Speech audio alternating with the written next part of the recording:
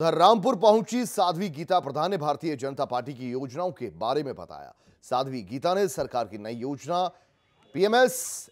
SP scheme को बताते हुए कहा कि सरकार ने अनुसूचित जाति के छात्र, छात्राओं के लिए पीएमएस एससी केंद्रीय प्रायोजित स्कीम बड़े स्तर पर अनुमोदित की है, जिसमें अगले पाँच सालों में पाँच करोड़ से ज़्यादा अनुसूचित जाति के छात्रों को स्कीम का लाभ मिलेगा। स्कीम के तहत मंत्रिमंडल ने 60 करोड़ से ज़्यादा का निवेश अनुमोदित किया है, जिसमें 60 प्रतिशत केंद्र और सरकार और शेष राशि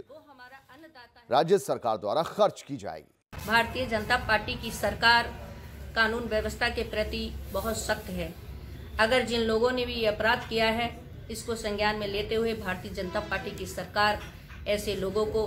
दंडित करेगी और उनके खिलाफ जो भी कानून कार्रवाई होगी, उस पर विशेष संज्ञान लेते हुए ऐसे लोगों के खिलाफ जो भी आगे का आदेश होगा, जो भी वहाँ जाँच की जाएगी, अगर उसमें कोई अधिकारी भ्रष्ट हैं या किसी अधिकारियों की कमी से ये सब हुआ है तो उनको सस्पेंड करने का काम करेगी।